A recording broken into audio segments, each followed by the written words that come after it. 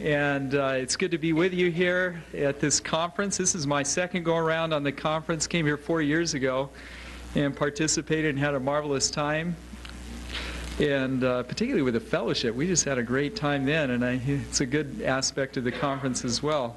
And as I mentioned in the previous hour, I'm a professor at, of New Testament at Talbot School of Theology, affiliated with Biola University in La Mirada, California. If you heard Neil, Neil and I were uh, colleagues on the same faculty there till he uh, misperceived the Lord's call and took off. Uh, uh excuse me. no, we miss him. We miss Neil. He's a dear friend and had a had a great impact there. So I can stand here and tell you that uh, our faculty down to the person uh, just has a lot of respect for Neil and wishes him the Lord's best and, and, amazed at how the Lord has blessed that ministry. Uh, and I think it's had a really good impact. But uh, uh, we're in uh, Southern California there where uh, all sorts of things always happen. And so it's amazing. Uh, you know, people speaking on spiritual warfare coming from Southern California, but I guess that's where things all get started. Um, I show, well, I'll show you too. Not all of you were here. Uh, we learned a lot about spiritual warfare after uh, the last uh, earthquake, the Northridge earthquake, uh, because we just had to deal with it. There was such an upsurge of it. I don't know if you saw the headlines. LA quake opens the gates of hell. You all see that? Uh, demons come up out of a crack in a California freeway. So we uh, had to learn real fast on how to deal with that and just hope there's no more earthquakes. But we were very pleased when President Clinton ordered the National Guard out to take care of those demons. But, uh, uh, well, we want to, uh, in this session, uh, talk about the issue of what uh, demons can and cannot do to believers. And we want to uh, begin our time and call on the Lord and invite His presence to be our teacher, and that I could just more reflect uh, what the Lord wants you to hear. Father, we pause our hearts, we bow our knees before you. We glorify you as Lord of all creation. We thank you that you uh, are Lord of our lives, in that you've raised victorious over every principality, authority, rule, and dominion, and that we can share in that authority, Lord. That we don't have to give in to the influence of evil. In fact, that's not what you want us to do, but you've given us the resources to resist and to stand. You've held out the promise for us of of peace. In fact, that characterizes your kingdom is peace. And I pray that we may experience more and more of your deep set peace, the joy of knowing you in our own lives, and that that might be attractive to others and we could share that with other folks, Lord. Thank you for this time. I thank you for each person here. Lord, open the eyes of their hearts touch them by the power of your Spirit in areas where you want them to uh, grow and develop and, and learn more about you. In the name of Jesus we pray. Amen. What the enemy can and cannot do. One of the things that we did in the last hour is I, uh, I took the people back in time to uh, life in uh, first century Ephesus we were spent a lot of time talking about Ephesians in the previous section. Took him back in time to uh, first century Ephesus for a while and tried to immerse them again in, into uh, what kind of things were people into, uh, what kind of folks were becoming Christians, what kind of things would they have had to work through in their worldviews after they became Christians. Uh, and as you'll remember from your own reading of Acts 19, that uh, a lot of the folks not only in Ephesus, but throughout the Mediterranean world, we're into, uh, uh, none of them were into secular humanism, I'll tell you that. They were all into gods and goddesses and spirits and powers. It was just part and parcel of life back then. the issue for them was more uh, not so much do I believe in a demon, the issue for them was how in the world do I deal with it?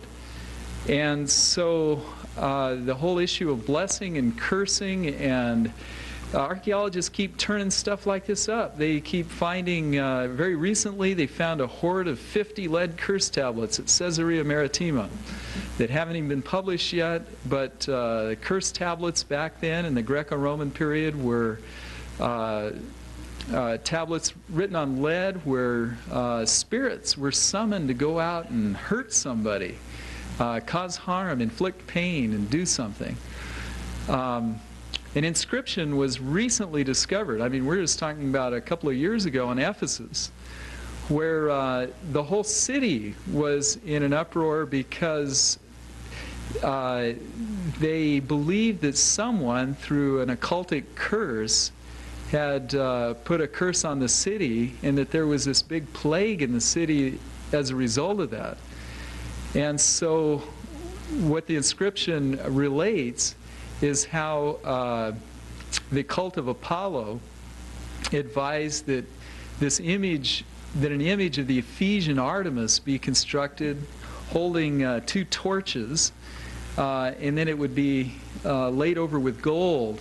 And the two torches represented the goddess's power to melt the wax figurines that were behind the curse laid on the city and all this sort of stuff, you know, and trying to locate the magos or magician that did that. This was just a part of life at that time.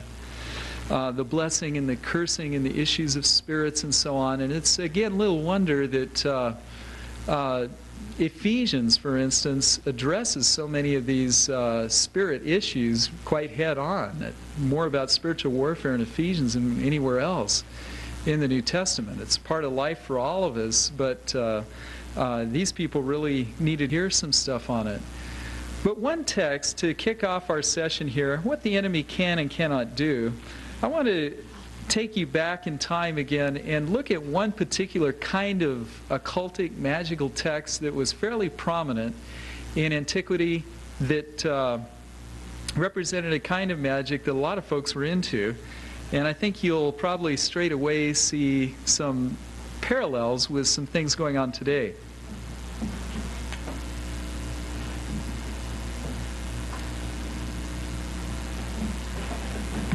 This is a uh, archaeologists or classicists would refer to this as uh, Greco-Roman revelatory magic.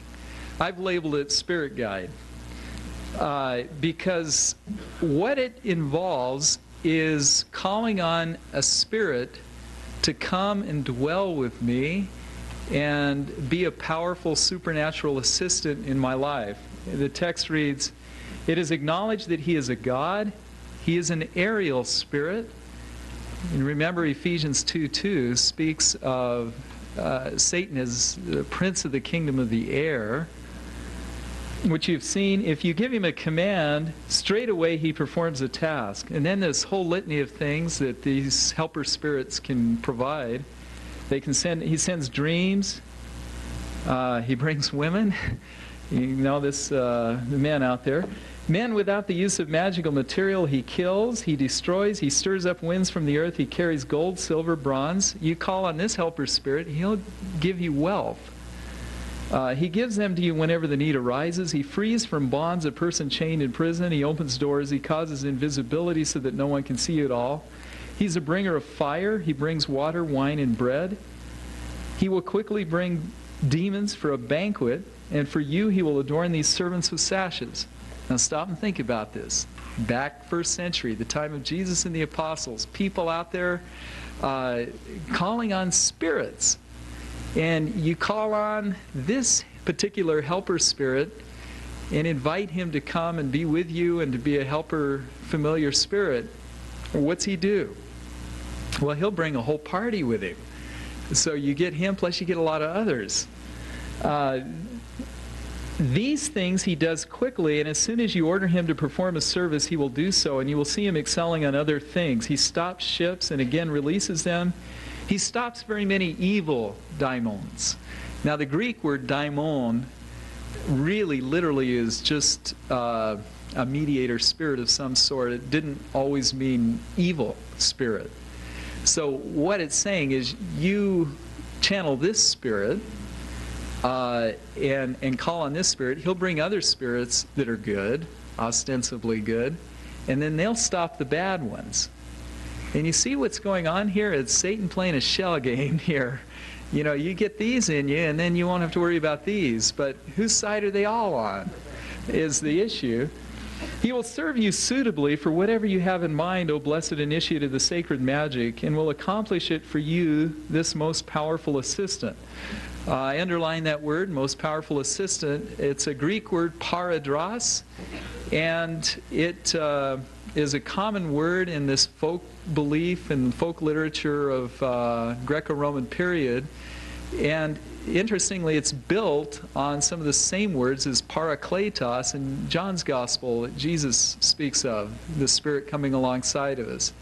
So, in the world at the time of Jesus and the apostles, they too had a concept of a spirit that would come alongside and be with you and in you and, and do all sorts of good stuff, uh, who is the only Lord of the air.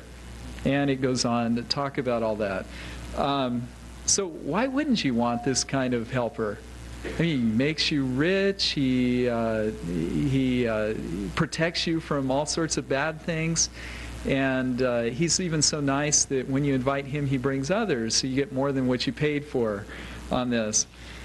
And so this was part of what this uh, tradition, occultic tradition, was fl- floating around not only at Ephesus, but all through the Mediterranean world. People calling on spirits, inviting them into their lives, and, uh, and so on. Now, today,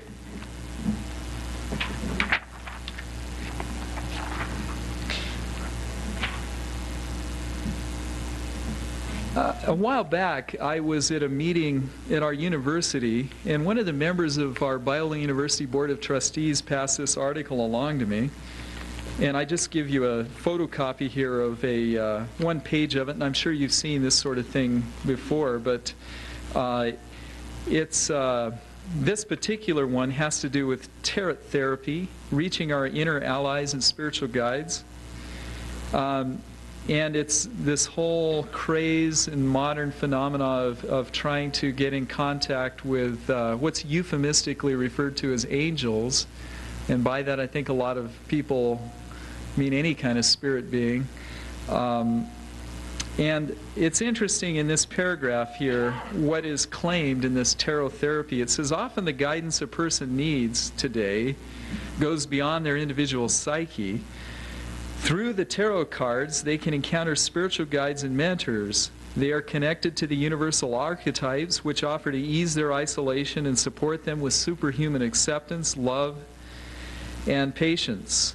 Now, note this line it is beautiful to witness the bonding between these eternal transpersonal powers and an individual in need. During this process, many people learn how to allow this new spirit guide into their daily life. With the spiritual guide's aid, some open up to their natural psychic gifts, others see clearly into a past life, which is limiting their progress in this life. And this member of our Biola Board of Trustees asked, What in the world is going on here? What are people getting into? Um, and this sort of stuff is taken off, as you all know very well, like wildfire. Me, as a historian now, knowing a little bit about what was going on in the Greco Roman period, I think, wait a second. This is paganism revisited. Uh, it's exactly Greco Roman revelatory magic. The same stuff that they were doing in Ephesus. And you stop and think then, doesn't that make the Bible even more relevant? Uh, not that it was irrelevant, but uh, it even makes the Bible, as we compare our culture then and now, uh, you just see more of the direct relevance of a book like Ephesians and Colossians and the teaching that we have in there. Um, on this whole thing, I, I won't uh, describe it in detail, but may, maybe some of you have seen the new book out by Zondervan, Enticed by the Light, Sharon Beekman. Uh, her story in there. Sharon is now serving as an adjunct professor at Denver Seminary and has taught together with Gordon Lewis, a prominent theologian. But in the book, she describes her experience of being uh, a psychotherapist in the Denver area and uh, not a believer and going through times of personal crisis and then a friend inviting her to some spiritualist meetings where they channeled spirits and these spirits promised to come and give uh, ease and comfort and support to a person in their time of need and so on. And so she got into that and uh, found great help. The difficulty was the spirits that manifested to her when she uh, later told them to leave they said, no, we're not leaving. And the one that appeared is just such a wonderful, kind, fatherly, warm figure, all of a sudden transformed into a ghoulish, gruesome, uh, evil being that was tormenting her incessantly. And in the Lord's way of doing things, all things can be used in His hands to point people to Him. It began her uh, time, a time of her exploring uh, is there a way out? is there a way out from this torment? Through the process, she became a Christian and went through a time of discipleship and was deeply influenced by the steps of freedom in Christ, actually, and, and, and came through that to the point where she was able to send all these spirits packing. And it's a marvelous testimony of what the Lord can do. But it raises all this question here, and there's plenty of anecdotes circling around. It raises a question uh, what can the enemy do to a believer? She became a believer and yet was still troubled by this. Uh, they didn't go away just immediately. Uh, and you wonder back in the first century when uh, Paul was out there preaching and people dropped to their knees and prayed the sinner's prayer, did it all disappear? Did it all disappear? You know, what were their discipleship times like back then? uh, is an issue here. And I want to just, uh, with you, what our uh, game plan is here, I want to throw some material out on the table here on the issue of demonization and the believer. Uh, because this is really the hard issue, the one that's, uh, there's a lot of uh, deep discussion out there about this. And I, I want to to be able to get all the cards out on the table and discuss that in here. And what I'd like to do is uh, get some material out on the table here, and then we'll uh, leave plenty of time before we break uh, at 20 after uh, for a 10-minute break. But we'll we'll cut it off earlier after 3 o'clock so we can have some interaction. But I want to put some stuff out here on the table and raise this whole issue. What in the world can demons do to believers? And uh, how are we to look at this uh, in terms of especially ministering to people who are uh, new believers and people that are deeply troubled? This impacts me greatly, although I teach in a seminary campus uh, day by day uh, through the week. My ministry in the local church is in outreach and work with new believers. I work with my wife, who Barbara and a team of other people, and we uh, uh, have created a whole series of courses and different things that we do in, uh, in reaching out and working with new believers in a seeker-oriented church. And part of my burden and passion has been in wanting to see people deal with spiritual issues right up front uh, and get those uh, hammered out and worked through as they become Christians and begin in the early process of discipleship.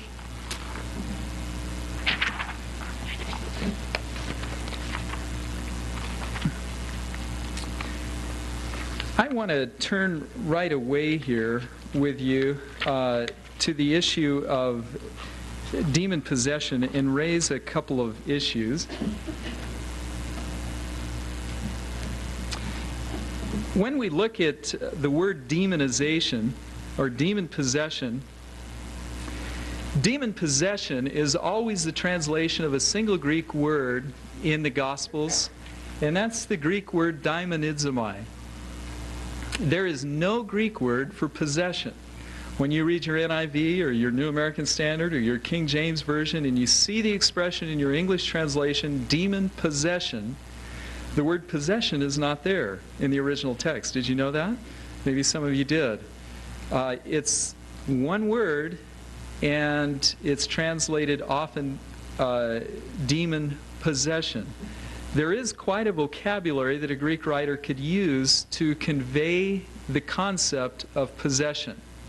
Uh, and I list a few of those, like huparko, echo, kat, uh, kateko, taomai, peripio, but I'm speaking Greek to you. Um, the uh, King James Version of 1611 used that translation. Although they were not the first, the uh, Tyndale version of the Bible that appeared much earlier used the expression demon possession. Um, but the King James popularized that expression. And I wonder, I wish we could go back to the original translators and ask them, what did you mean when you used the English word possession? Because I, my hunch is they meant something a little differently than the way people take the word possession today. Um, I give here a rendering of how Daimonizomai is translated in a number of English language versions, most going with demon possession. But there are some versions that uh, translate Daimonizomai differently. The contemporary English version, recently out with the American Bible Society, translates it many people with demons in them and makes a more localized expression. The prior good, uh, American Bible Society translation, the Good News Bible, or today's English version, had a similar expression many who had demons in them. Um, Peterson's message, he translates it demon afflicted people. In some of the other dynamic translations, uh, not in Matthew 8:16, but in other passages, you find the expressions tormented, vexed, troubled. But I say all this to underline that the word possess is not in the original text in terms of ownership of property. Uh, there's nothing there. It's one word. And we have to uh, ask ourselves then, well, what does that word mean? How should it be translated? A number of people, even around here, have been saying that maybe we should just transliterate that Greek word and go demonized. Uh, and say demonized, but the difficulty with that is it still leaves it ambiguous. What in the world does that mean? Demonized? Um, that sounds pretty bad too. Maybe it is really bad, but what does it mean? Um, and so we're, we've got a translational problem, and that's something that will continue for a while. In my book on three crucial questions about spiritual warfare, I have a whole section in there that I title The Tragic Confusion Surrounding the Word Demon Possession. And why I say the tragic confusion is uh, I think for most people, the idea of possession conveys the idea of ownership. Uh, and if I own something, I can do with it whatever I want. Uh, and it belongs to someone then. And I don't know if that's necessarily what's behind the word daimonizomai, and especially if we were to use it in relationship to believers. But I want to throw this out to you. There is possession language that's used in Scripture with relationship to believers, and a couple of passages that you might find very encouraging in this way, and that is uh, Ephesians 1:14. You also were included in Christ when you heard the word of truth, the gospel of your salvation, and having believed, you were marked in him with a seal, the promised Holy Spirit. I'm going to stop right there for a moment. What was the function of a seal anyway in antiquity? Well, a seal was the means by which a property owner indicated his ownership of property and he would mark something with a seal. And there were a variety of different kinds of seals that were used then, but if someone was had the imprint of the property owner, well, it belonged, it was his property. Well, Paul elaborates then, and he says, this Holy Spirit, who is a deposit guaranteeing our inheritance until the redemption of those who are God's possession to the praise of his glory. God's possession, or we could say those possessed by God uh, God possessed people. And what the passage affirms is that for those who have entered into a relationship with Christ, into an authentic walk with the Lord, you know, transferred from the kingdom of darkness and into the kingdom of His Son, who owns them? They're God's possessions. The text is incredibly clear about that, using imagery as well as the very word possession. Uh, so the issue of ownership, to me, seems rather settled for those that um, are in a relationship with Christ. 1 Peter 2 9 uses the same word, peripoiesis. It says, You are a chosen people, a royal priesthood, a holy nation, a people belonging to God you could translate it God possessed people. Uh, you're marked out as the property of God. You belong to Him. Ownership issue is settled on that. And so uh, these are a couple of instances, really, of the actual possession language that's used in the New Testament uh, of authentic believers. Uh, and it really strongly conveys a sense of security. Now, I think that's very important in the counseling process, especially for new believers. Satan's trying to put in so much fear and doubt as it is. And I think uh, it's incredibly important for us as we minister to new believers and as we minister to people who are going through deep waters, they need to know that there's a great level of security in their relationship with Christ. It doesn't depend on them. God has done something. He has marked them out. He's the one that put his seal on them. We didn't put the seal on ourselves. Uh, God has sealed them, and they are God's property. And if the prayer in Ephesians 1 takes it even one step further, and he, Paul prays in the prayer of Ephesians 1 that the folks would recognize uh, by the illuminating power of the Holy Spirit that. Uh, they are actually God's inheritance. God's own inheritance among the saints. You and you and you are God's inheritance. And you know how he describes that inheritance? You remember in Ephesians 1? A glorious inheritance. Now that's pretty uh, beautiful language for how he perceives us. He saves us but he seals us. We're his property. And then when he looks at us, he doesn't shrink back in horror, but he looks at us as his glorious inheritance. And I'm grateful for that for my own life. So then, you say, Clint, well, what can demons do to believers? Isn't that what we're supposed to be talking about? Um, I want to share with you the passage that uh, has helped me uh, grapple with this issue and give perspective to it, uh, perhaps more than many other passages in the Bible, and that's uh, actually Book of Romans, chapter 6. And I've got I've got an overhead here of the entire passage, but we're going to be focusing on especially uh, chapter 6, verse 12.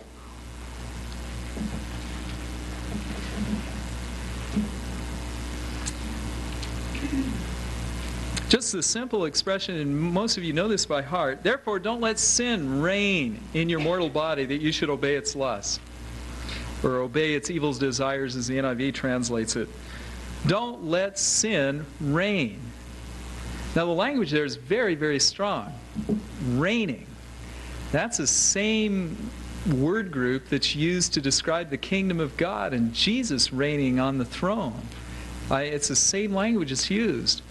Um, and yet it's directed to believers and it says, don't let sin reign in your mortal body. Now, is it possible that Paul is lapsing here and addressing non believers? No, I mean, he is writing to believers in Rome and the churches at Rome here. Um, I can't really soften down the word reign. Uh, that's pretty uh, powerful, uh, a reigning influence. But I want to explore for a little bit the word sin. Don't let sin reign. Most of the time, we are prepared to think of that as our flesh. Don't let the flesh reign. But in Pauline theology, Paul has personified sin, and sin becomes a power that has spread like a disease from Adam into all the human race. And it's a hideous power, and it's incredibly powerful because it has held people in bondage and in chains and shackles, and only through the redemption in Christ can people be set free from it. Uh, but sin is an evil power here that's personified, and normally Paul thinks of sin as a specific act of sin, but here is a power. Well, what does he have in mind? Well, I think the answer is very clear in the whole scope of Paul's theology, what sin is as a power. And I like to diagram it this way, and we've talked about it, I've heard each presenter so far talk about it at the conference. But when Paul thinks of sin as a power, I think he's thinking of the flesh, the evil inclination uh, within each of us, but I think it's more than that. I think he's also thinking about the world, and I think he's also thinking about demonic influence. Sin as a power is the influence of evil in whatever form it may take. And usually there's a nexus of three, the world, the flesh, and the devil, that features prominently in Paul's thought under the inspiration of the Spirit here, that is the way that he describes evil influence. Now, let's see, where does all that go then? Don't let sin reign in your mortal body. Um, is he speaking hypothetically then? I know this could never happen to a believer that evil could have a dominating influence in their lives, but just for the sake of argument, is that what he's doing here? Or is he entertaining the real possibility that in these churches in Rome, and probably a network of house churches there in Rome, that some of the believers have entered a relationship with Christ and yet have yielded their members to the power of sin and they're off the tracks? Uh, they're messing up big time. And I think there's that real possibility. I mean, you just read any of the New Testament letters. I mean, why does Paul say to the Ephesians, you know, stop lying, quit stealing, get rid of angerness, bitterness, rage, malice, slander? I mean, were people really doing all that stuff in those churches? There was a lot of sinful behavior, and Paul wasn't giving up on them yet. He was telling them, here's the key to having freedom in Christ. And it is a recognition that evil influence can indeed, in the life of a believer, have a dominating impact. So that someone looking at it can say, you know what? Evil reigns in that person's life. Are you with me on that? Do you know? I mean, you, we're all experiencing that in our ministries, and it grieves us, it hurts us. We do all we can uh, we want to try by the power of God to get people on the right track, but we all are on the same map, page of the map, I think, with that. We've seen that, and we want to be able to help in these situations and get people back on track. Now, here's the, the bottom line issue. I think for a lot of folks in the church, it's okay to allow the flesh to have the dominating influence and it's okay to say peer pressure. Or, yeah, yeah, my husband's got this group of guys at work, and ah, I wish he could get rid of these turkeys. You know, it's okay to say the world. But for some reason, we've sold the devil short and said, nope, he can't do nothing to believers. Uh, you know, we're in Christ. I mean, he can't do, he can't touch me. Now, are we selling him short in doing that? Um, he works through the flesh. He works through the world. He can go for us directly, uh, do stuff in here, and uh, give us terrible thoughts and all sorts of stuff.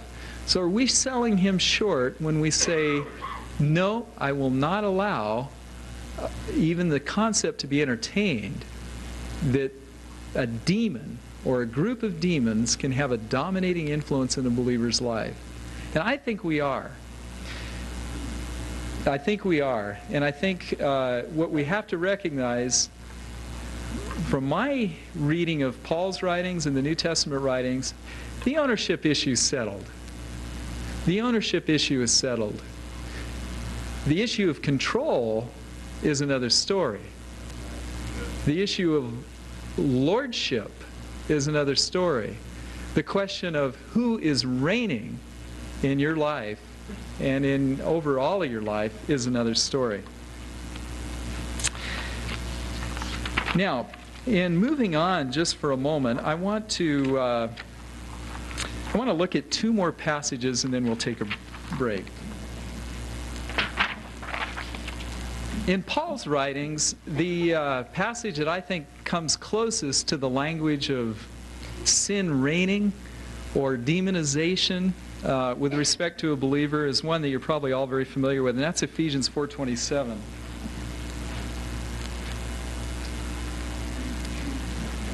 Don't let the sun go down on your wrath. Don't give a place to the devil. Don't give a topos in the Greek, a topos to the devil. Now, what does that mean? Now, a lot of people have looked in the dictionary, the Greek dictionary, and said, uh, well, a topos in some texts can mean a chance. Don't give an opportunity or a chance to the devil. Um, okay, uh, that is in the range of meaning for that Greek word, and that's a possibility. Uh, but topos throughout the New Testament is very frequently used for inhabitable space. And I just throw up a few examples that maybe a lot of you are familiar with. Mary and Joseph, when they brought down the baby, when uh, uh, they were looking for a place and they couldn't find a place in the inn, there, there was no room, no topos, no place for them to dwell in the inn.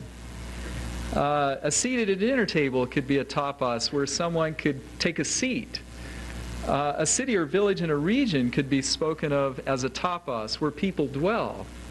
Uh, Jesus said that he's gone to prepare a topos, a place for us to dwell in heaven. Just a few examples of how that word is used in the Bible to indicate a place where people dwell. I think it's, I think it's significant also that uh, topos can be used with reference to spirits.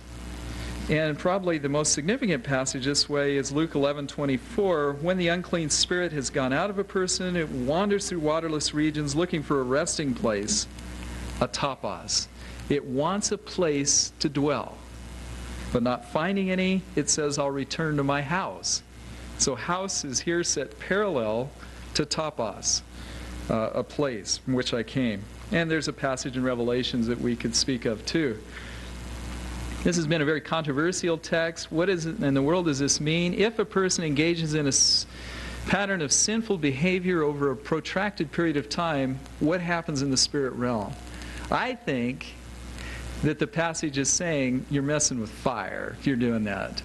I think a person that willfully, high handedly engages in sinful behavior over a prolonged period of time, um, as the tense of the verbs would indicate, uh, is opening themselves up to a, a deeper level of spiritual influence uh, that could be very uh, uh, damaging for their ongoing health. And I mentioned this in the last section too, but I've got a colleague at uh, uh, the seminary where I teach uh, that characterizes it this way. You know, that it's like Satan is attracted to uh, a burning fire. And if you could imagine here a pile of lumber burning away, and I mean, pine can really burn. And if that, if that lumber represents your anger, and it burns and burns and burns, Satan is attracted to that. He smells out that smoke, and he's of the kind that likes to come over with a can of gasoline and pour a gallon of gas on that fire and just blow it up even further. Uh, and actually, there's a lot of uh, Jewish texts from that time period that say that's exactly the way he operates. Um, he inflames an angry spirit and, and so on. It gives him a, an opportunity for a deeper level of control. And uh, this is something we need to grapple with. And it the issue of flesh and, and the spirit working in conjunction, the flesh and the evil spirit working in conjunction with one another.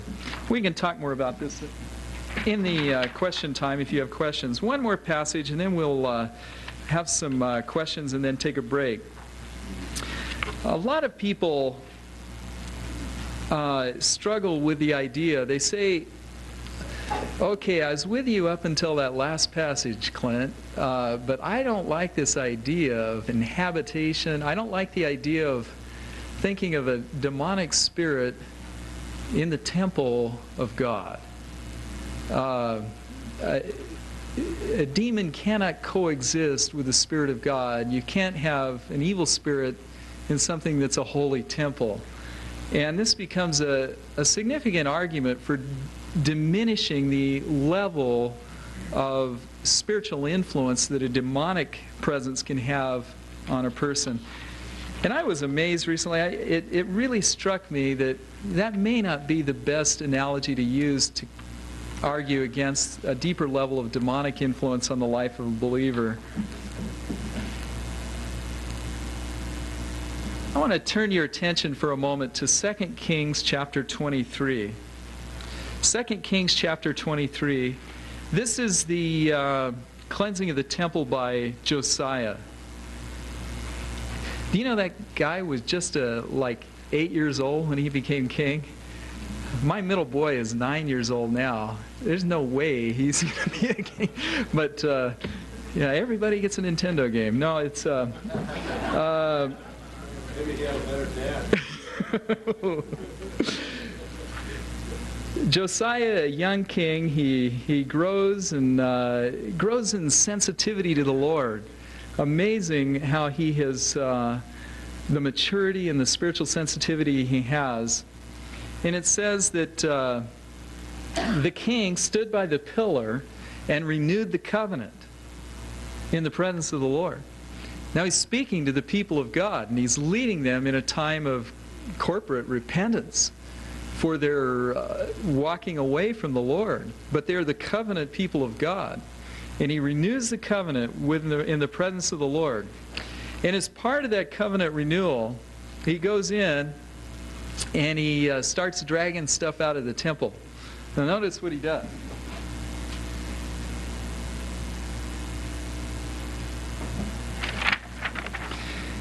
Verse 4 The king ordered Hilkiah the high priest to remove from the temple of the Lord all the articles made for Baal and Asherah and all the starry hosts. What's all that stuff doing in there? Verse 6 He took the Asherah pole from the temple of the Lord to the Kidron Valley outside Jerusalem and burned it there. I mean, this is goddess worship in the temple at Jerusalem. The same temple where the Shekinah glory of the Lord was supposed to be.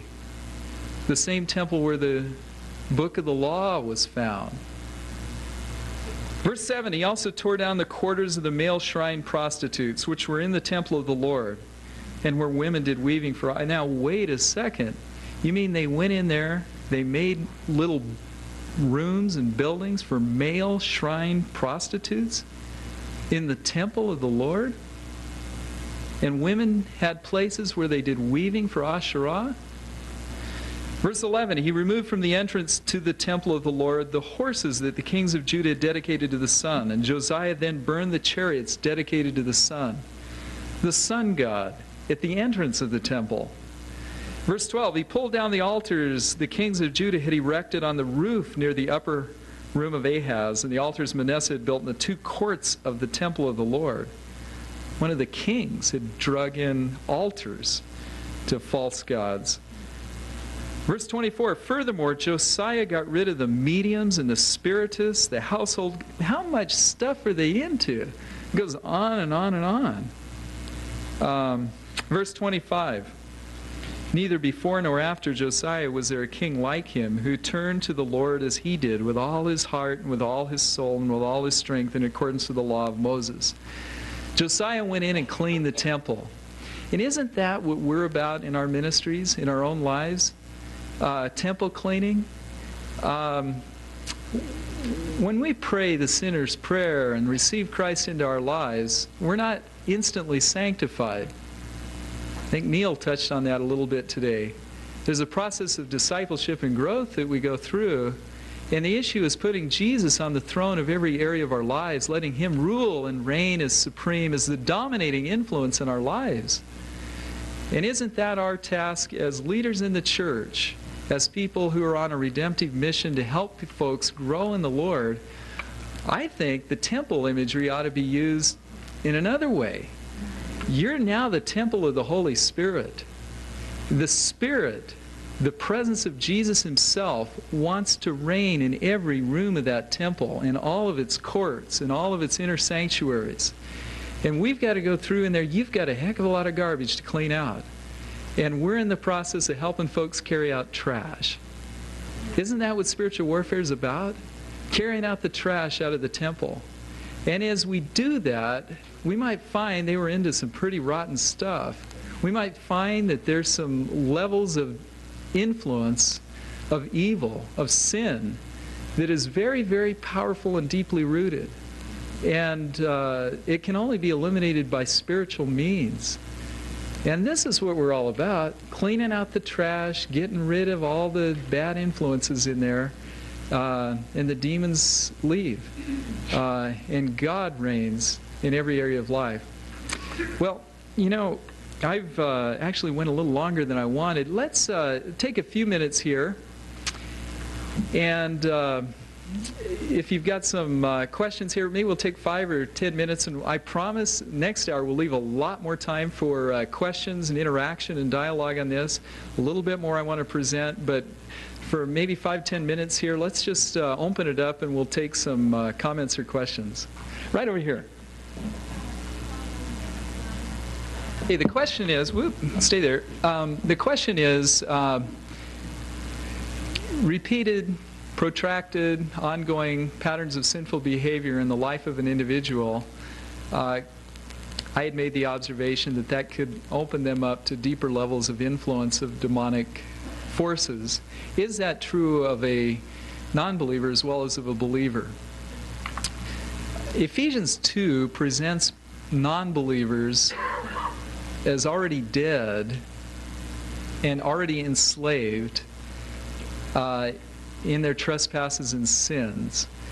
And uh, the question then would be to what level of direct demonic influence are they opening themselves up to? Obviously, if they're inviting demonic presences into their lives, um, then we've got a, uh, an easier answer. But uh, yeah, I think uh, ongoing patterns of sinful behavior could uh, leave people susceptible to more direct workings of demonic spirits.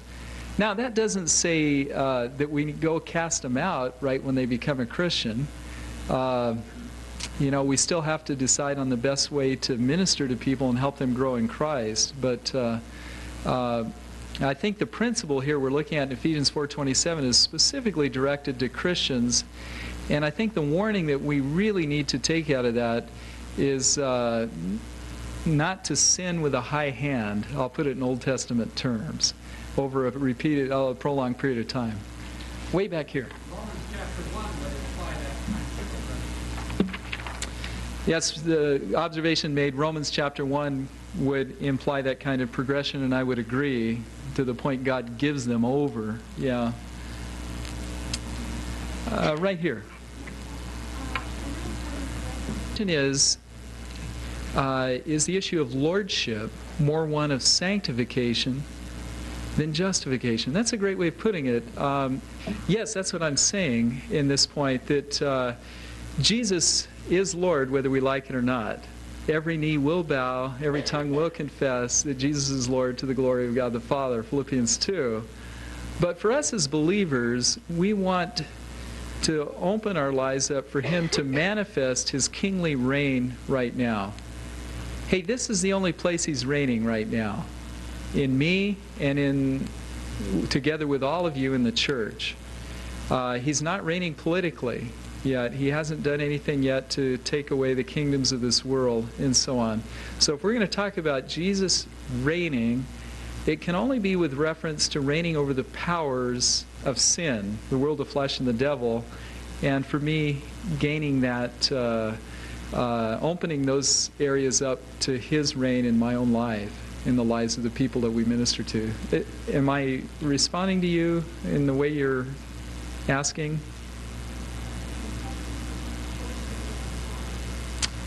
Yeah, lordship over our hearts. The question is, uh, and here we're, uh, you thinking like of uh, Robert Munger's little book, My Heart, Christ's Home, or uh, that Christ might dwell in you? Uh, just let me throw that out then. Uh, Ephesians chapter 3, verse 19.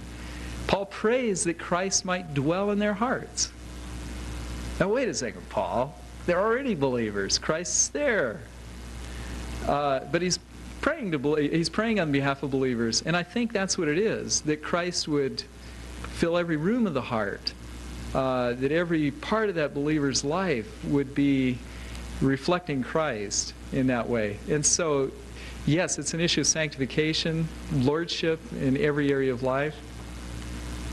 Good, thanks. What about uh, the question is, and I'm repeating all these for the sake of the camera here and the audio, uh, what about a non-Christian? Can Satan possess and own a non-Christian? Well, there's one sense in a biblical theology where uh, all non-Christians are slaves to a different dominion. Uh, therefore, Colossians 1.13 again, he rescued us from the authority of darkness where Satan reigns supreme and we are slaves. And Romans is full of slavery language. Galatians is full of slavery language.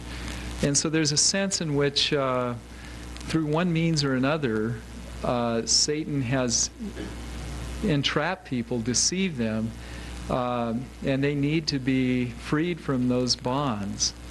Um, now, the real issue that I think maybe below the surface there is the exhibition of what psychologists often call possession behavior. I mean, do non-Christians get thrown down on the ground and writhe around? And, and uh, I think, well, certainly they can do that. And perhaps one of the bigger issues here is, uh, is that the extent to which believers can yield themselves to the evil one? And that's, uh, uh, oh, we're out of time. I'll be darned. Uh, that's the issue uh, that we are uh, going to get into a little bit. But let's take seriously what Romans 6:12 says, "Don't let it reign. Don't let it reign." Uh, that to me implies quite a bit of uh, influence that a demonic spirit has. Yes, right here. Very good question, and the issue has to do with degrees of influence. When do you cross certain boundaries there uh, with the level of demonic influence and so on? And this is in the last part of your notes. I'll just call attention. That's how I conceive of demonic influence. I see it more as a continuum rather than as this or this. Uh, and so uh, we have uh, temptation, regularly yielding to a demonic temptation, which doesn't necessarily mean that a spirit has entered in or something. But we've got the language of the pastoral epistles that use very strong terms like devoured, taken captive, taken as plunder. Now that's a reference to believers again. And I haven't even mentioned those passages yet. Um, and then the language of the Gospels, demonized or has a demon. And I would probably, because of the symptoms of uh, the manifestations of that demonization in the Gospels, would probably reserve the language of demonization for this more extreme level of influence.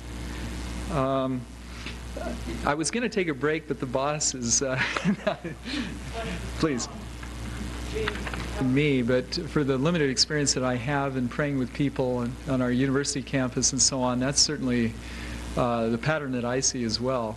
The only thing I might add to that, though, is you know our culture is changing so fast, right from under our feet, and uh, it's scary uh, how quickly people are moving into uh, the more uh, direct uh, channeling and invitations to demon sorts of things, and I, you know, and it, it entices some believers that aren't rooted in the faith, and and this is something we're going to need to uh, be aware of and watch out for.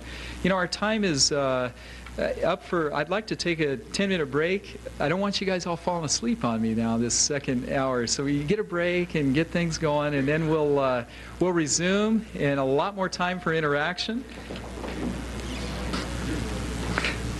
Couple more things that I, I just want to put out on the table here, and then we'll just have a, a time for uh, discussion.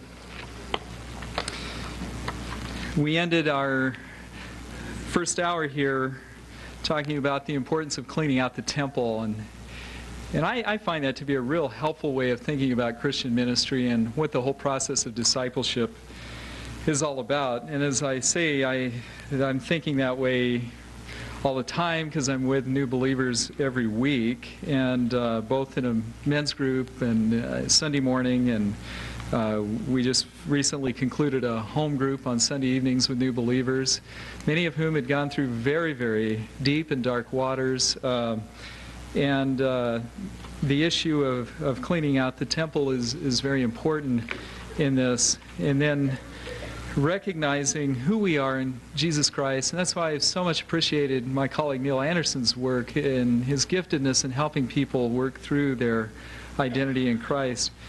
Uh, on this issue, I have, uh, uh, dealing with new believers, as I was doing research for my book, Three Crucial Questions About Spiritual Warfare, I realized I had never spent much time in the church fathers thinking through this issue of uh, uh, how did the early church run new Christians classes? You ever thought about that? After Jesus and the apostles, and they had their big seeker oriented services out there, and people were coming to know how did they do it? What did they do? And I spent some time uh, working my way through the what we call the pre-Nicene Fathers. Um, up until the time of Constantine, for the first 300 years of the church, trying to figure out what did the early church do uh, throughout the Mediterranean world.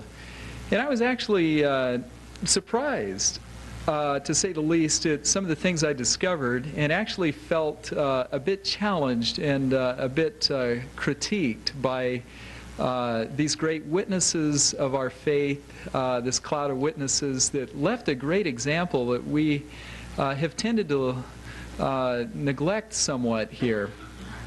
And that is, I, I ran across in particular, and I've printed out sections of it for you in the notes. Um, and I, I've got it, I don't have your page numbers here, but it's further on in your notes called Deliverance Ministry and the New Christians, the Practice of the Early Church in the First Three Centuries. And I ran across a document that was preserved by the church father Hippolytus. Uh, in this were not his set of opinions on what the church should do and he was a famous Orthodox church father from Rome. But it wasn't what he did in his church, you know, sharing his story. This is how we do it in Rome. I don't know what you guys do elsewhere, but this is what we do here. But rather, what he did was he preserved some of the traditions of the early church. Um, and the editor of this said, It is now generally recognized that the apostolic tradition of St. Hippolytus is the most illuminating single source of evidence extant or available on the inner life and religious polity of the early Christian church. Um, and uh, in the second century. And the one thing I picked up is that uh, they did have new Christians classes. And they put a $10 word on it. Of course, it was a simple word for them, katecheo, or catechumenate, as they called it. But it was derived from the Greek word katecheo, which means to teach. And when a person became a believer in the early church, they got immersed into the Word very quickly. They were required to go through an extensive period of time getting immersed in the Scriptures. Uh, and they often did this prior to baptism. Um, but uh, this period would often last two to three years. Uh, new Christians class that lasts two to three years. Now, we started out with eight weeks at our church, and we've moved up to about a year and a half now, but we still haven't caught up there. and it's not just the issue of, of cramming information again. We've already talked about that. It's not an issue of just getting information in, it's helping folks get a, uh, the truth of Christ permeating their souls to the very core of their souls in embracing in their heart and through the Spirit's ministry, how this truth ignites them in their relationship with Christ. And so they had this intensive instruction in the scriptures. And as part of this, often there was a sponsor or a mentor that walked through them with this, a leader in the church that spent time with them, invested with them. And in this, these times, there were challenges to make a break with the past. Um, and they didn't mess around uh, at all on that. If a person was involved in the occultic arts, uh, at some point in that process, they said, hey, uh, you got to stop it or you're not with us. Uh, therefore, it says a charmer, an astrologer, an interpreter of dreams, a maker of amulets, let them desist or let them be rejected. They did not monkey with that. They knew the spiritual power behind that. A person had to renounce that and give it up. Uh, and I, there's lots of other examples. So they were taught, they had mentoring and relational dimension to the new Christian classes. But this, as far as I can tell, and all the things I've seen in the early church fathers, this was really the time that what we call deliverance ministry took place. Um, this was a time when uh, the people walking through it with them if there was a manifestation of a spirit or something, they'd lay hands on them and uh, out, you know, and command the spirits to leave. Uh, and of course, in this context, it seems a bit more power encounter oriented, but they're doing, getting the people immersed in the scriptures uh, at the same time. And part of this uh, is the renunciation of all that was past and a pledge of a new affiliation and allegiance to the Lord Jesus Christ. And for many in the early church, it culminated in baptism. Uh, and the uh, statement, I renounce thee, Satan, and all thy service and all thy works, um, that was made in the context of, of, baptism. And even then, the leader uh, doing the performing the baptism would say, Let all evil spirits depart far from thee. And this seemed to be the context for a lot of deliverance ministry in uh, the first century. Uh, in, and second and third centuries, and actually on into the life of the early church. And it makes me wonder, it's been a, a, challenge to me as I'm in a big seeker church in Southern California and we're trying to grab people and pull them in. It's easy to socialize people into a Christian lifestyle, isn't it? Uh, it's easy to let people just kind of come along for the ride and act like Christians. And I'm afraid there's a lot of churches, and I see a lot of churches as a seminary prof and out and around at times, that uh, I wonder, you know, who they're letting in as members, you know, of the church and, and what's going on there, who's going into leadership, and what are they taking these people through. And some churches have, you know, bellied up to the bar, and they're up to a four-week you know, introduction to Christianity course and so on. But this is the challenge, I think, for our churches in the next generation. Uh, if we're going to be effective in, in reaching the lost, in many places we're doing a good job of that, we've got to be equally effective of the second part of the Great Commission, teaching them to observe everything I've commanded you. And little wonder, when Jesus gave the Great Commission, he said, All authority in heaven and on earth has been given to me. We need that not only for evangelism, but we also need it for the uh, helping the folks grow and get deeply rooted in Christ. Well, I could share a lot of other uh, illustrations from uh, testimony of the early church uh, in this whole thing. I'm going to forego that at this point. I've got most of that in the book if you're really interested in the church fathers. Um, and uh,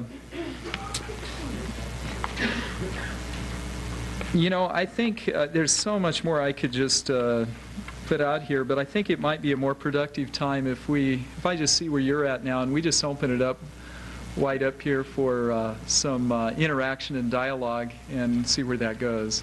So, a question over here. Um, Thank you. The question is, uh, in lots of non-Christian cultures, there's casting out of demons going on and people seemingly getting better, and what's going on there, especially in light of the text, Satan can't cast out Satan. Uh, and yet there were, even in the early centuries, uh, Greco-Roman period, you know, these wandering exorcists doing that sort of thing. By the way, that's Gregory Boyd, and I just met him today. Uh, he has published a marvelous book called God at War, InterVarsity Press. I, I read it cover to cover. And what we talked about in the first session today, uh, a warfare worldview, it's well stated in his book. He presents the Christian life as a warfare, and that that's just the way we uh, perceive life. This is a warfare worldview. And so I. Okay. Um, it's called God at War and uh, a marvelous presentation of the warfare worldview of Scripture. You know, one of the things that's interested me on this question, and it, it goes a little bit sideways with the issue, is uh, in the first century, the god Asclepius was the god of healing. And the, he had a temple in Pergamum and a temple near Corinth in a city called Epidaurus. And archaeologists keep turning up all sorts of little uh, body parts that were dedicated to Asclepius. And people would come from all over the Mediterranean world, and they'd go to the temple very near Corinth and seek healing. And they would go through all kinds of uh, procedures, and if they weren't healed, they would go through a rite of incubation in which they would spend overnight in the temple of Asclepius and the priest told him, in the middle of the night, Asclepius will manifest his presence to you and uh, will communicate to you and perhaps heal you. And there were all kinds of people claiming this sort of an experience. And uh, there were people from all over that gave vast sums of money and then made clay or pottery or marble representations of the body parts that were healed. And I'm always asked when I teach uh, a class at Talbot called The World of the New Testament, well, did he really do it? Or was it just some kind of charade? Uh, and there's people that are healed from evil spirits by these gods and things. And I pause and I say, uh, if you were Satan and masterminding this whole thing here, and you knew that Paul was going to blow into town here pretty soon, and somebody from the area of Corinth comes and they've got this terrible arm problem and deformed arm or something. And they go and they seek Asclepius for healing. And actually, there's some kind of supernatural healing. Um, and this person is deeply grateful to Asclepius for this healing uh, and uh, honors him appropriately. And then Paul comes into town and says, uh, You need Jesus. Who are you going to go with? You know, I mean, that's a pretty good plan. And I think Satan can heal, Satan can cast out Satan for his own purposes. And it's like these people playing with these are good spirits, these are bad spirits. Invite these spirits in, and then you won't get the bad spirits. Well, it's just, like I said before, it's a shell game here because it's just trading one spirit for another. Um, that's kind of the way I see it. And, and so I, I don't, I believe that there was probably a lot of spiritual power, miraculous things going on, but it served a greater purpose of creating a fidelity to the kingdom of Satan that made it much more difficult. A, a, bigger challenge for the gospel and this whole plan of deceitfulness of Satan. And it's little wonder, I can't remember which church father but uh, little wonder one of the church fathers referred to uh, the cult of Asclepius. I mean, he's an archdemon because of his opposition to the gospel. Yes? Yeah, the question is uh, in getting rid of a, an inhabiting spirit, is it a cooperative effort or is it an, up to the person whom is inhabited, who is inhabited by the spirit?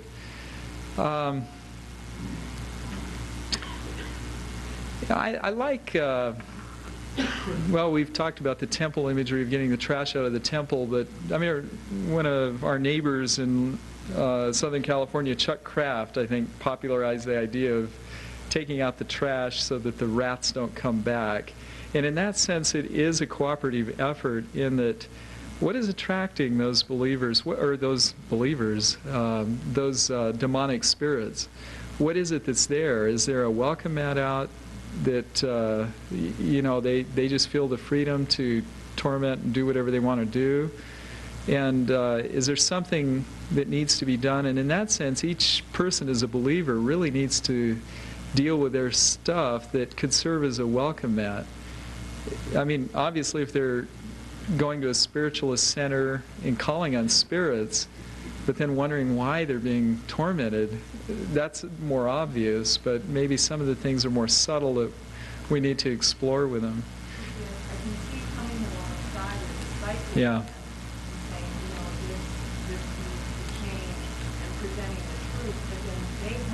They've got to, yeah. Yeah, they've, uh, eventually, they have to be the ones to take responsibility uh, to uh, yield their lives to the power of the Holy Spirit, to the power of Christ, appropriating that power. And they can certainly draw on all the help and the resources in the body of Christ, but ultimately, there's, uh, they've got to submit their life to the Lordship of Jesus. And there's often a process to that. Uh,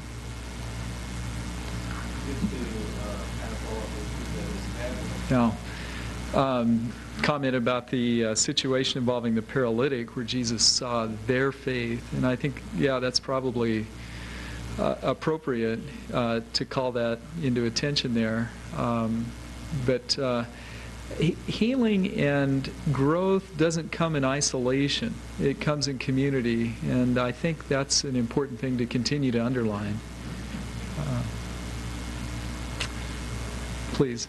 In Judges, there's an example where The question is, in Judges, the Lord sends an evil angel to harass someone. Do I see that as being uh, possible from the New Testament period on? Um, it's always difficult to know who's ultimately responsible for sending that evil angel. Is it a permission or is it a uh, Lord directing it for, for an intent and so on? The only passage I would call attention to here is in the Gospel of Luke, where uh, Jesus tells Peter, uh, Peter, Peter, Satan has asked permission to sift you like wheat. Now, he doesn't say, and I have given him permission, but the assumption is there that he has. And what was our Lord's response? But I have prayed for you, that your faith may not fail. And as I had indicated in a previous session, I think uh, spiritual warfare isn't one particular compartmentalized ministry within the church, but I think anytime we pray, that's spiritual warfare because we're calling on God to fight as Jesus modeled for us. I think that's a beautiful model of arming someone for spiritual warfare, uh, what Jesus did for Peter. Now, Peter struggled a bit, but, but he held on.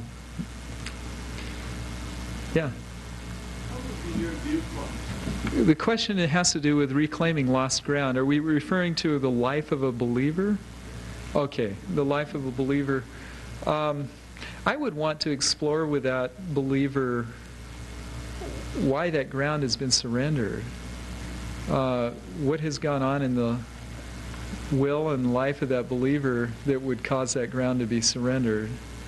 I I mean, as a first step, and then see where that goes. Um, you know, is there something uh, that they're enjoying that they shouldn't be that's uh, needs to be dealt with in some way and brought under the lordship of Jesus? The want to reclaim the lost ground. The question is, how do we do that? How do we do that? And as was brought out by the lady just right in front of you, I think that person needs to be definitely involved in that whole process. That person needs to be cultivating their walk with the Lord. Because it's in Christ that they're going to find victory over the bondage. It's in Christ that they're going to find freedom. It's in Christ that they're going to be able to reclaim the lost ground. And so there needs to be an intentional appropriation of the power of Christ to reclaim it. So it's got to be reclaimed. And then how do we lead them best through the process? And that's the, Yeah. The, the, the difficult thing is when people want to go out and just mess up because they have enjoyed, they've got a taste of some sinful thing and they, they want to just, it's just so attractive. It's like Turkish delight, if any of you read C.S. Lewis. I don't know. And they just got that taste and they can't let loose of it until they've been burnt by it bad. And uh, I wish there was a, some way to intervene earlier on in the process, stop that. Yeah. And maybe that's part of what it means uh, preparing for the evil day, putting on the armor of God so when that Turkish delight scent comes, it uh, can be resisted. Thank you. Yeah. Uh, Seems like a little low, I think you should. Question is, uh, no, no, I think it's directly related. I mean, I brought up the whole issue of uh, we got to do something with new believers. Uh, uh, uh, the question is, what do we do in particular, my ministry team and my church, in ministering to new believers? What do we cover? We've got a team of we've got a team of four different teachers, and I don't know how many are on our team. There must be about 12, 14 people on our our team that work with new believers this way, and we've created a I, I should mention that we go to a seeker-oriented church, and we've got a lot of people, and there's a lot of external things going on, so we've got a natural flow of people onto the campus. And we created an eight-week course uh, dealing with the basics of the Christian life that we try to grab these people and, and bring them in, and we try to encourage other folks in the church that have someone that they've tried to share with, hey, come and sit alongside them in this eight-week thing and uh, we'll cover the basics in this one eight-week course. And so we have a course type thing, and we cover, we try to make it very relational oriented, relationship with Christ, and move away from, well, try to blow apart stereotypes of get your act together, you're in church now, sort of thing. And it's really astonishing, you know, how surprising that is to people. That's really the heart of the what, what it's all about. And so we try to lead them through that. And at the same time that we're leading them through that, we're working behind the scenes trying to network the people into a uh, men's group, a women's group, uh, a mentoring group of some kind, a small group. Because in Southern California in particular, I think we're cursed with this more than anywhere else. Uh, there's just so many things competing for attention and so on. We've got to build relationships quickly or we lose them. And if they don't get some good friendships and relationships established, they're not going to stay around very long. And uh, so we're working with that. They're only making an eight-week commitment, and then we uh, have, uh, hey, you're done with this eight weeks, and we got this other eight-week thing that we've got coming up here. And you may want to be a part of it. And then we start a series. We've got one on the Bible. We've got one on the new you, which we cover identity in Christ, and that's where we bring up a lot of this stuff, and then talk about, try to reassure them of who they are in Christ, but then talk about the nature of evil influence. And hopefully by that time, they're feeling the freedom in their small groups or mentoring relationships to start opening up, sharing some stuff going on in their lives. And we've got people that have worked through the steps to freedom in Christ with them, but we tend to use the steps to freedom more in the mentoring and small group things than in a, the large group things. And we take them through uh, a couple more series of uh, things on just how to live the Christian life and, and so on. And it's about a year and a half now. But we take it in chunks because people in Southern California don't like to commit themselves. I mean, eight weeks seems like an eternity to most people there. Eight weeks, wow. yeah. So that's a little bit. That's uh, thanks. Other comments or questions here? Guy must have done a great job. You guys answered all the. Yeah, okay, down here.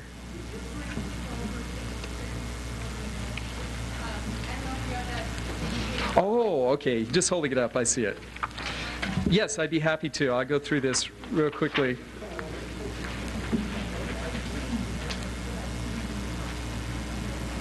I put this diagram in there, but I didn't give you any explanation. Good advertising for the book.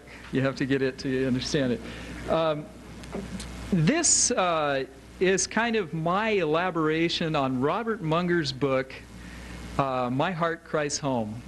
My Heart Christ's Home. Isn't that it? All of a sudden, I feel tongue tied. Uh, it's a marvelous little book, and it's been reprinted by InterVarsity Press for years, but it's an attempt to uh, uh, give a practical expression to Ephesians 3:19 where Paul prays that Christ may dwell in your hearts through faith. And Munger in his book never mentioned the demonic at all, but he used this imagery of a house, a dwelling place for God. And he wrote from a British style, so he had a, I don't know, a romper room and all sorts of stuff that I didn't even know what it was, even though I lived in Scotland for three years. Uh, but so I've I've kind of modified the idea a little bit to include what it may look like if we factor in the demonic aspect. And so on the uh, illustration here, we pray and we receive Christ, or we lead someone into uh, coming into a relationship with a Savior. And so Christ is a brilliant presence in the, we'll say, living room of the house. But in Munger's book, he takes the people room by room, and uh, Christ uh, leaves his position on the uh, living room couch and gets real nosy and wants to try to see what's in all these other rooms. And it's a, beautifully done in Munger's book where Christ said, or yeah, Christ says, "What in the world's that smell coming out of that hall closet?" There, man, it stinks. Why don't you give me the key and I'll go in there and clean it up? guy says, "Oh no, you don't want to see that. There's, uh, uh, I'm not going to." And he struggles like that, and finally surrenders the key, and uh, it's just filled full of all kinds of rubbish that stinks and everything. And Christ goes in and cleans it up. He becomes Lord of that room, and it's a way of allegorically describing the uh, relinquishing of control over all of our lives to the lordship of Christ, letting Him reign in every area. So I elaborated on that and just uh, uh, expressed in my way how uh, the possibility of a demonic influence in certain areas might uh, be present. Uh, so in the kitchen, I put all these little pentagrams where uh, I said deep involvement in occultic practices. Now, when Christ goes into that kitchen, there's a lot of trash that needs to be taken out. People need to get quit calling on spirits, and they need to get rid of all that stuff and and deal with it. And you know, I've probably I haven't mentioned this, but you know, my non-Western brothers and have really helped me a lot with this as I've thought through it as well. I, the seminary where I teach, Talbot School of Theology, we're 55% non-Anglo uh, we've got people from all over the world. It's a microcosm of what heaven's going to be like, I think, because there's every tribe and tongue in our classrooms. And uh, the uh, Asian students, the African students, they all. They all uh, understand this right away. You know, in, in Korea, when you become a Christian, it's not long before you go into the home and you uh, smash up all the household gods and goddesses. You got to smash them up. And uh, every room of the house, they've got these things. And get rid of them and clean it all up and uh, surrender it to the Lordship of Christ. And, and often that's their context for dealing with demonic influence as well, when, as the people relinquish that sort of control. So that's a little bit. Does that answer all your questions regarding it? Please.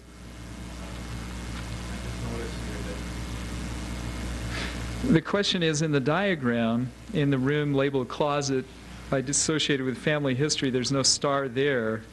Uh, what do I think about demonic involvement that way? It was rather arbitrary in some ways where I put the stars. It, uh, I could have put a couple there as well.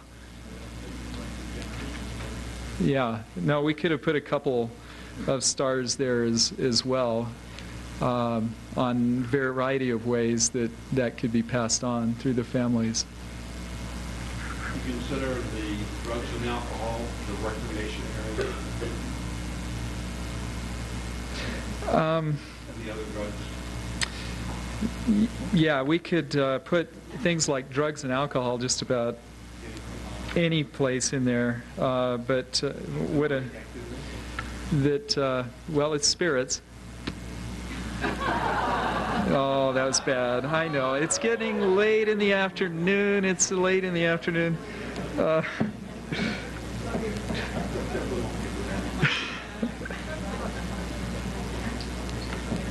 Right, exactly right. Observation made. We don't want to acknowledge that he's real and alive because then you might stir him up and he might come back after you. I really see that a lot when I speak out in the churches that a lot of people, and I bring this stuff back in the back door. We've got at Talbot School of Theology, we've started a network of lay institutes that we call Talbot Institute of Biblical Studies, and we take it on the road and go to all these churches all through the LA Basin area. And I do a class on Ephesians out there, and so obviously get into the spiritual warfare issue, but a lot of people uh, saying that uh, they just don't want to deal with it because they're afraid they're going to stir up something like poke a stick in a bee's nest or something, a beehive. And that's not the right way to look at it. Yeah, way back there. Yeah. Can demonic, do demonic forces have to leave at the point of salvation? Uh, I would probably respond by asking a question Does every form of evil influence in a person's life have to leave at the point of salvation? No. Um, and if there's been a, a time of uh, willful, I mean, a, a time when there's uh, demonic influence in a direct way in a person's life, they don't, I don't think they have to leave right then. Uh, and then it's a matter of surrendering to the Lordship of Christ, every area of, the, of one's life there. Well, I, I heard these little sirens going off. Was that Dan's deal? Okay, and, and that means we've got another half hour, was it? It was-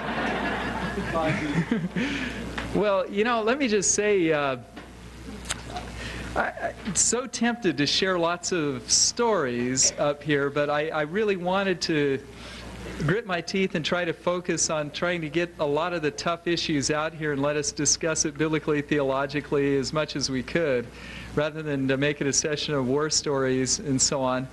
But uh, hey, I'm in it with you. We uh, love the Lord out there, and we're uh, trying to make a difference in Southern California. And uh, I want to pray with each of you, with you here before we go, and uh, ask the Lord's blessing on the rest of our time.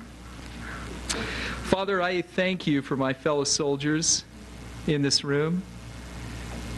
Lord, fill them up. May this, may this uh, few days that we have uh, sharing together, exposing ourselves to your word, worshiping together, Lord, just fill us up with your presence and enable us to please you in our own lives. I pray that you would impart so much grace to each person here to walk with integrity and purity before you, resisting the evil one, glorifying you in their lives, and that we may help others along the way. Help us as we try to reach out to those who are lost, victimized by the evil one in such a variety of hideous ways that he's victimized them. Help us to love the way you loved us and the way Christ loved us, giving his life as a fragrant offering and sweet smelling sacrifice. And I pray this in the name of the Lord Jesus Christ. Amen.